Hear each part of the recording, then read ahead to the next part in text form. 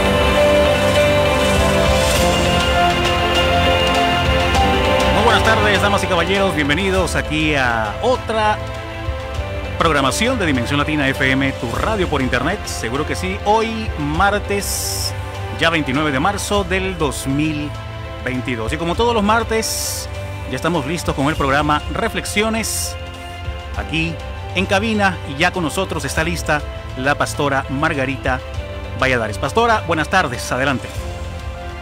Hola, hola, buenas tardes. Ya estamos aquí, muy contentos de estar aquí nuevamente con ustedes, con esta linda audiencia de Dimensión Latina. FM, su radio por internet. Comience a compartir, llame a otros para que otros también se puedan beneficiar con esta palabra, con estas reflexiones que traemos aquí para ustedes. Eh, Le damos gracias a aquellos que se conectan siempre, aquellos que, que están esperando este momento, ¿verdad? Para poder escuchar una palabra que trae cambio, una palabra de fe, porque eso es lo que traemos. Queremos compartir con ustedes lo que Dios ha dado con nosotros, queremos compartir con ustedes lo que Dios ha hecho con nosotros. Y todo lo que Dios hace, lo sabemos, es bueno. Ah, recuerden, mi nombre es Margarita Valladares. Estamos aquí también para hacer un canal de bendición para usted. Si usted necesita oración, eh, usted nos puede llamar o nos pueden mandar un mensaje de texto, ¿verdad? Ya eh, puede mandar mensaje de texto ahora que estamos en la programación, que estamos aquí al aire, estamos en vivo. Pero si usted quiere oración, eh, lo vamos a poder hacer ya después del programa, después de la transmisión. Así es que puede mandarnos un mensaje al número 773-344-4693. Número 773-344-4693. Si usted este, quiere eh, mandarnos ese mensaje para nosotros después orar con usted. Y tenemos los números ah, de, eh, de aquí de la de la emisora es el 925 el área 819-2463. Recuerde, es su radio por internet. Dimensión Latina FM, eh, una radio que está trayendo realmente eh, revolución aquí a la ciudad de Chicago. Hay muchas personas que eh, se están conectando ya con la programación de esta radio y es importante, ¿verdad? Que usted este, haga esos cambios, haga esa búsqueda de que pueda encontrar este, palabras o programas, ¿verdad? Que sean de beneficio para usted y su familia. Así que estamos contentos de estar aquí. Eh, comience a compartir, comience a compartir con otros, ¿verdad? Para que también otros puedan escuchar esta palabra. Hay otros que la van a ver en la, en la retransmisión, pero si usted ya está conectado, le vamos a pedir que haga ese, ese, mire, ese clic de compartir con otros para que otros también se puedan beneficiar con esta palabra. ¿Ok? Entonces, eh, vamos a, compartir con usted lo que, lo que tenemos, ¿verdad? Para esta semana. Eh, la reflexión de esta semana se titula No hagamos siempre lo mismo. Y eso es importante, porque muchas veces queremos hacer cambios en la vida, ¿verdad? Y estamos haciendo siempre lo mismo. Tenemos que saber nosotros para dónde vamos. Muchas veces no sabemos ni dónde venimos, pero tampoco sabemos para dónde vamos. Y tenemos nosotros que saber, fíjese, eh, eh, llegar a un punto de nuestra vida y para que las cosas nos funcionen mejor, que usted sepa para dónde va, que usted sepa cuál es el propósito. ¿Verdad? Eh, o cuál es ese propósito que lo va a llevar a su destino, para que usted pueda tener mejores resultados, para que pueda tener una vida mejor y pueda tener una familia mejor. ¿ok? Entonces eso es lo que vamos a estar hablando, vamos a estar compartiendo con usted.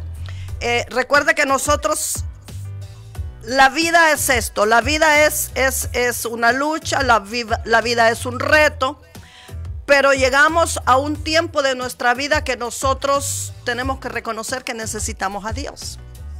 Yo lo digo siempre. Todos necesitamos a Dios, ¿verdad? Y sabemos que somos la creación de Dios. Pero también tenemos que saber qué es lo que usted puede lograr cuando usted incluye a Dios en su vida. Y usted posiblemente ha llegado a ese, a ese punto de su vida que no ha logrado mucho o no ha logrado nada. Y entonces llega la convicción de que a usted le falta un ingrediente en su vida muy importante. Y la mayoría de las veces, déjeme decírselo sin temor a equivocarme, la mayoría de las veces lo que nos hace falta es Dios. La dirección de Dios, la ayuda de Dios, la corrección de Dios, los consejos de Dios, ¿verdad? Y eso lo hemos dicho, están en su palabra. Eh, entonces es importante que nosotros lo reconozcamos, ¿verdad? Y creer sobre todo que todo lo que Dios ha prometido, que todo lo que Dios dice en su palabra, todas sus promesas, todo lo que Dios posiblemente le ha prometido a usted y usted lo sabe, se va a llegar a cumplimiento. Pero cuando nosotros somos obedientes y reconocemos, vuelvo a repetir, que necesitamos a Dios en nuestra vida, ¿verdad? Y, y, que usted sepa que no fuimos creados solamente para, para trabajar, para sufrir, sino que fuimos creados para cumplir un propósito. Posiblemente usted tiene planes en su vida, pero tiene que conocer cuál es el propósito de Dios en su vida, porque Dios siempre quiere algo mejor para nosotros. Y que ese propósito de Dios se llegue a cumplimiento, que ese propósito de Dios a usted lo lleve a su destino. Necesitamos siempre la dirección de algo mucho mayor, ¿verdad? Entonces, permitir que Dios sea nuestro guía, permitir que sea Dios, ¿verdad? el que nos está aconsejando, eh, la revelación de lo que Dios es para nosotros, la revelación, necesitamos esa revelación de qué es lo que Dios tiene para nosotros, qué es lo que Dios quiere para nuestra vida. Y eso hay que buscarlo. Eso muchas veces no le va, no le va a caer a usted con el vecino que a lo mejor está peor que usted. Eso no le va a caer a usted este, posiblemente yendo a la fuente equivocada. Tenemos que buscar la fuente perfecta. Y la fuente perfecta es Dios. Porque Él es el primero que está preocupado. O, o, el que tiene el mayor interés de que todo lo que Él ha prometido para su vida, fíjese, todo lo que Él ha planeado, se lleve a cumplimiento. Y Dios nos quiere llevar siempre a cosas mejores siempre a cosas mejores. Muchos tenemos metas en la vida. Cuando comienza un nuevo año, ¿verdad que todos estamos que queremos, especialmente las mujeres, hasta los hombres hoy en día, porque también los hombres hoy se cuidan mucho? Queremos bajar de peso, queremos eh, este, eh, comer diferente, tenemos planes, tenemos metas, tenemos malos hábitos que queremos dejar, queremos superarnos. ¿Y por qué ¿Por qué nosotros entramos en esto de, que voy a cambiar, de que necesito cambiar? ¿Por qué? Porque usted se ha dado cuenta de que usted necesita otra dirección, de que usted necesita cosas mejores. Y eso es bueno cuando nos damos cuenta que estamos estancados, cuando nos damos cuenta que necesitamos avanzar, cuando nos damos cuenta que hay algo que está saboteando nuestro destino. Y es bueno que usted lo haga. Es bueno que usted llegue a ese, a ese punto donde usted sabe que hay que dejar los malos hábitos, las, las, las malas cosas, todo aquello que no nos deja avanzar, todo aquello que está saboteando nuestro propósito. Es bueno que nosotros lo hagamos. Es bueno que usted llegue a ese punto. Pero le tengo noticias. Ese también es el deseo de Dios. El deseo de Dios es que nosotros estemos mejor. El deseo de Dios es que si usted está en un lugar bueno, Él lo va, a lo va a llevar a un lugar mejor. Y si usted cree que está en un lugar mejor, Él lo va a llevar a algo mucho mejor, porque esos son los planes de Dios. Dios siempre nos mueve para algo mejor. Dios siempre nos quiere llevar para cosas extraordinarias. Y casi siempre la gente ordinaria es la que lleva esa bendición extraordinaria. Porque la gente, cuando no tiene recursos, no puede depender de otra cosa más que de Dios. Cuando llegan al encuentro de Dios, se dan cuenta que necesitan a Dios. La gente que tiene recursos está confiando en sus recursos. Y la gente que no tiene nada, por eso dicen que Dios, ¿verdad? Eh, hace cosas extraordinarias con gente ordinaria. Y esa gente ordinaria por lo general es gente que no tiene recursos, gente que viven por fe, gente que han vivido en la vida, mire, eh, a lo mejor en escasez, a lo mejor en sufrimiento, a lo mejor en enfermedades y no han podido avanzar. No han podido avanzar porque no tienen los recursos. Entonces usted tiene que saber que Dios siempre nos quiere llevar a algo mejor. Hay gente que se esmera, lo hemos dicho otras veces, en tener cosas, en adquirir cosas. Pero el que la gente tenga cosas y adquiera cosas sin haber cambiado su mente, sin haber cambiado su forma de pensar, sin haber transformado su vida, de nada sirve que la gente tenga cosas. Hay gente que el, el propósito de ellos lo que ellos están anhelando es tener una casa. Cuando ya tienen la casa piensan que lo lograron todo. Pero muchas veces adquirieron una casa pero no llegan a tener un hogar. ¿Por qué? Porque hace falta Dios en esa familia. Hace falta la dirección de Dios para que nosotros podamos decir que tenemos verdaderamente un hogar. Así es. Y espero que usted esté de acuerdo conmigo. Espero que usted también esté ¿verdad? Haya compartido, ¿ok? Vamos, hay personas que ya se han conectado. Vamos a saludarlas. Tenemos a Teresa García, Mario Alejandro Rentería, Jessica, Carolina Medina, les bendecimos. Compartan, compartan con otros. Recuerde que si tiene peticiones, usted las puede poner. Usted las puede poner aquí si no las quiere mandar por texto. Pero si usted quiere mandarla por texto, le voy a repetir mi número de teléfono, es 773-344-4693. Puede mandar un mensaje de texto o puede llamarme cuando ya haya terminado el programa. Usted me puede llamar. Y si usted quiere que yo ore por usted, entonces vamos a orar por usted. ¿Ok? Entonces fíjese, tenemos, tenemos nosotros muchas veces que llegar al punto donde tenemos que reconocer que necesitamos una ayuda mayor. Hay personas que van de problema en problema en situaciones muy difíciles, muy difíciles en la vida. Y llegan a un punto que se, se sienten que están en un hoyo y no pueden salir de ese hoyo. Y eso es bueno. Usted va a decir, ¿cómo va a ser eso bueno? Si es bueno. ¿Sabe por qué? Porque cuando llegamos a esas situaciones difíciles en la vida, muchas veces sentimos que se nos acabaron las fuerzas, se nos acabaron los recursos, no tenemos ya de dónde agarrarnos, entonces lo único que nos queda es Dios. ¿No le ha pasado a usted eso?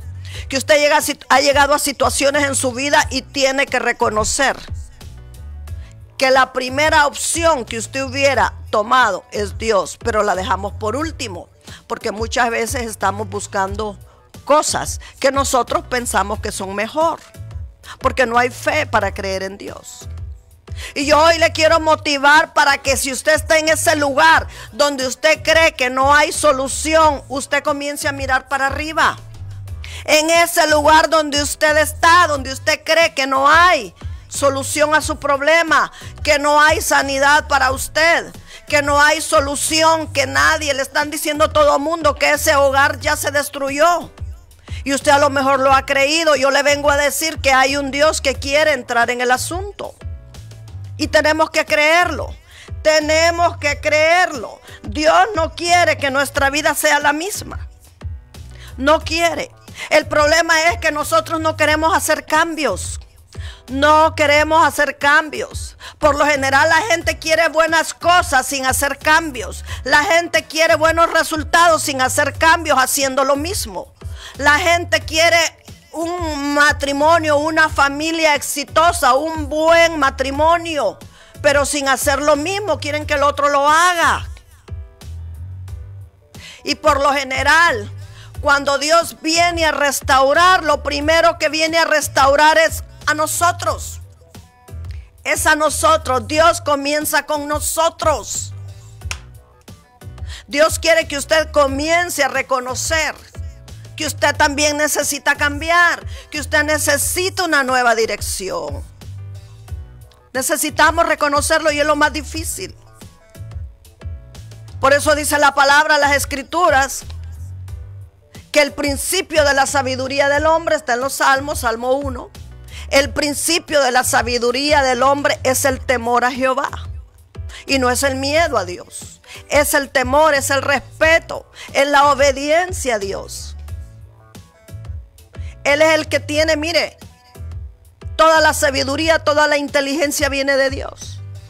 Entonces, tenemos que comenzar a creer como niños. ¿Qué, ¿Qué, es lo que pasa con el niño? ¿Por qué, ¿Por qué Jesús hablaba tanto de que hay que creer como niños? Porque el niño tiene dependencia de un adulto y sobre todo tiene dependencia de sus padres. El niño cree. Si usted le promete algo a un niño, el niño lo va a estar esperando aunque usted le haya dicho una mentira solamente para calmarlo. Tenemos que ser como niños para creer. Tenemos que ser como niños para reconocer, para dejarnos corregir, para dejarnos enseñar. Amén. Comparta con otros. Regresamos en unos segunditos.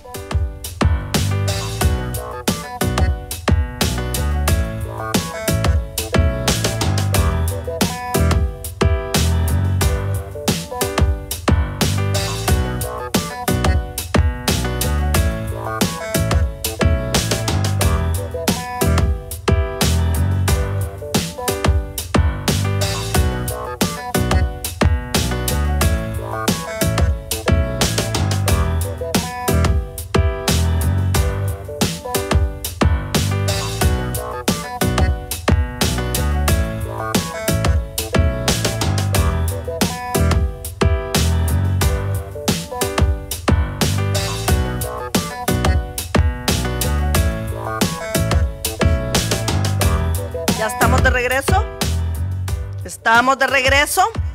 Comparta con otros.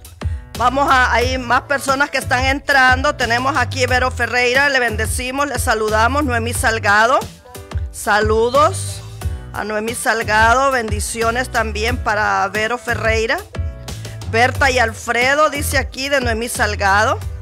Le bendecimos, oramos por ustedes. Oramos por ustedes para que el favor de Dios y declaramos que el favor de Dios y los planes de Dios en su vida son los que se llevan a cabo. Les bendecimos.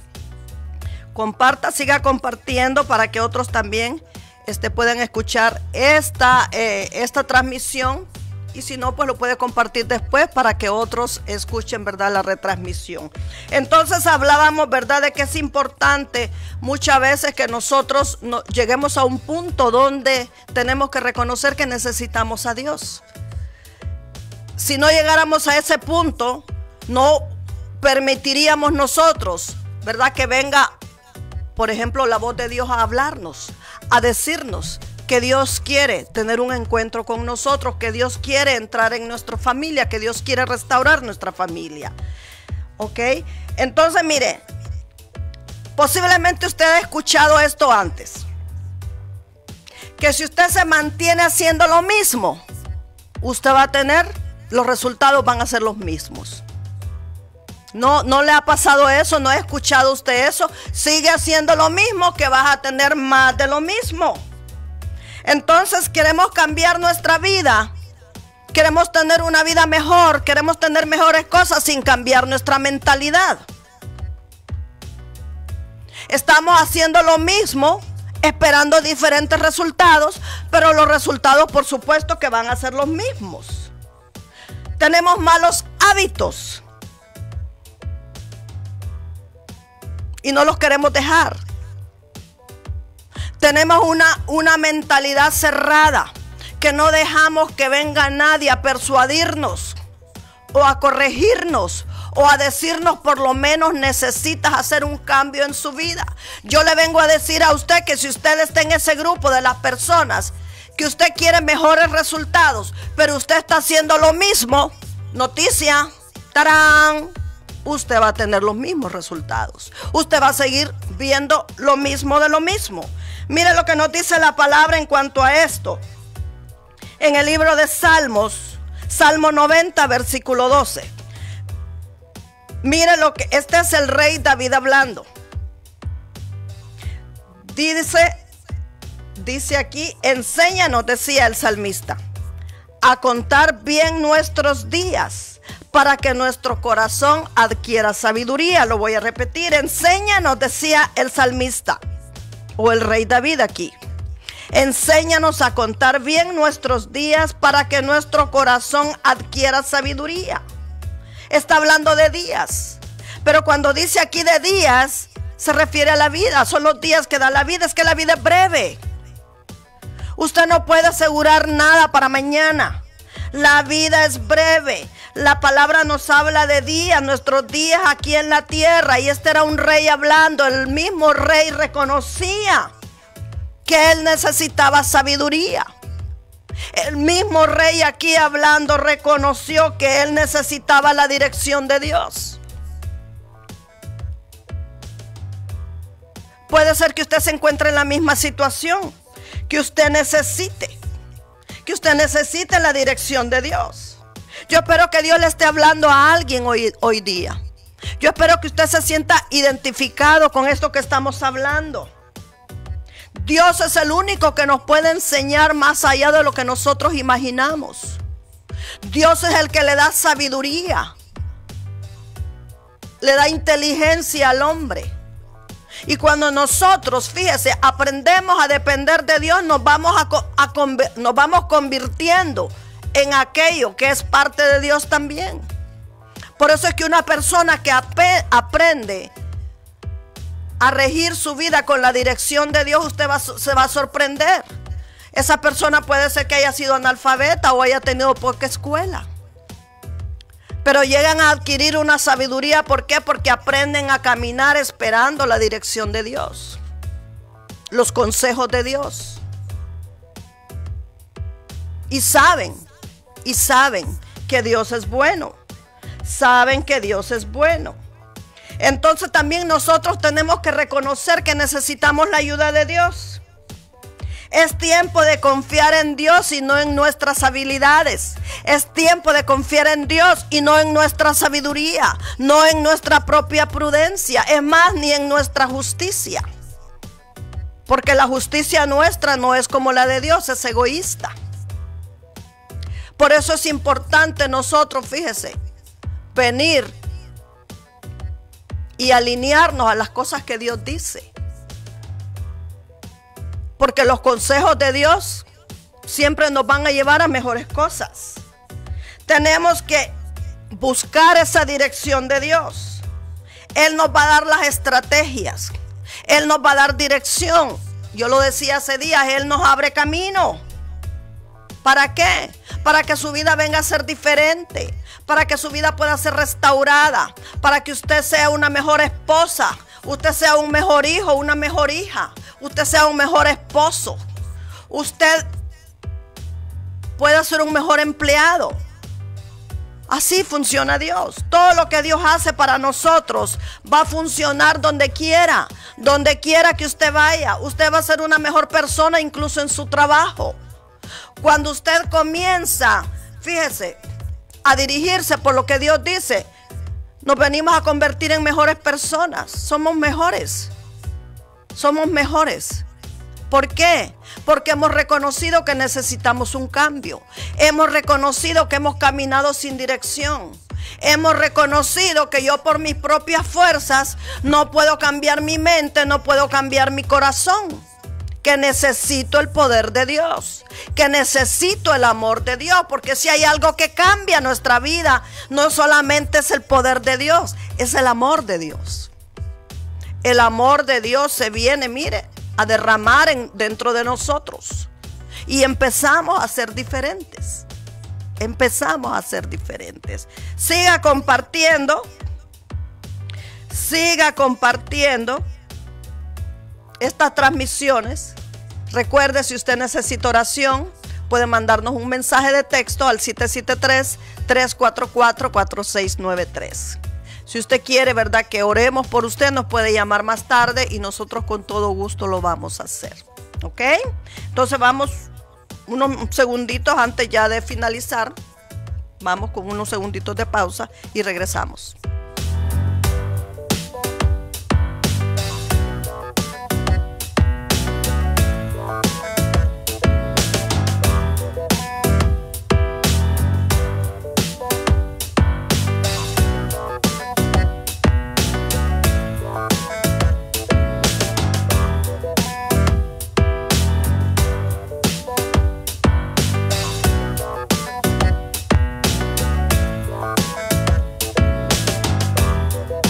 Regreso. Ya estamos de regreso. Espero que esté esta palabra, ¿verdad? Este, esté edificando su vida. Que eso es lo más importante de todo, ¿verdad? Que podamos ser bendición para que usted también pueda ser bendecido. Entonces decíamos que el Salmo 90, 12 decía el rey David, enséñanos a contar bien nuestros días para que nuestro corazón adquiera sabiduría. Necesitamos nosotros depender de la sabiduría de Dios. De Él viene toda la inteligencia.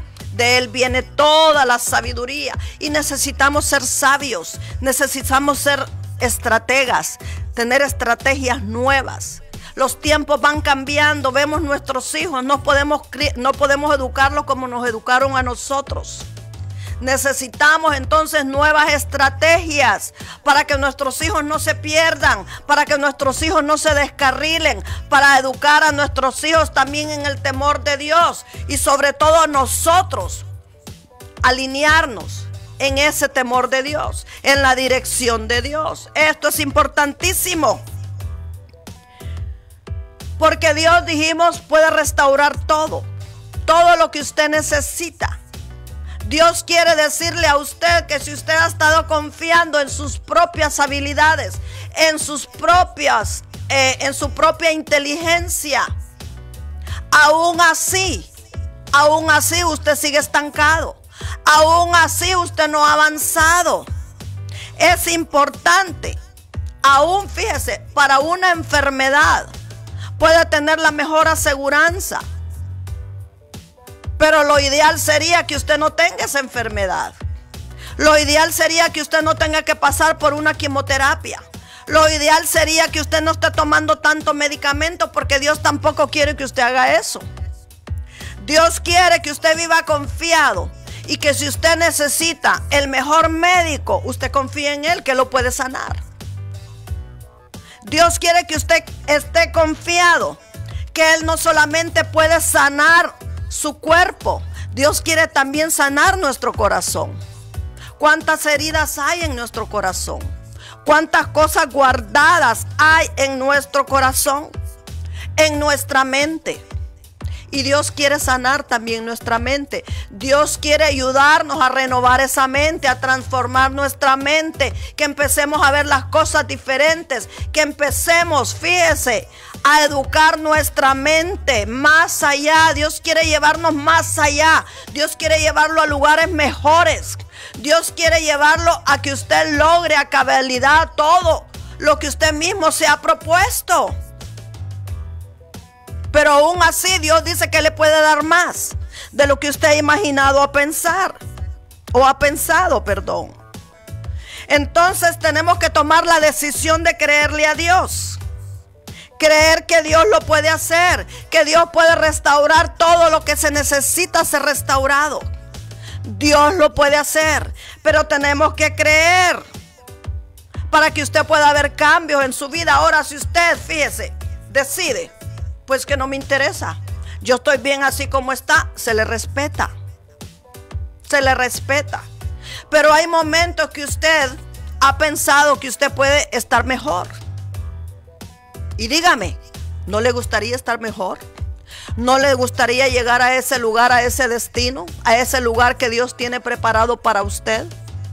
Donde usted va a terminar sus días en esta tierra complacido y agradecido, mire, porque acabó la obra y la acabó bien. Porque dejó un legado para sus hijos, para su familia.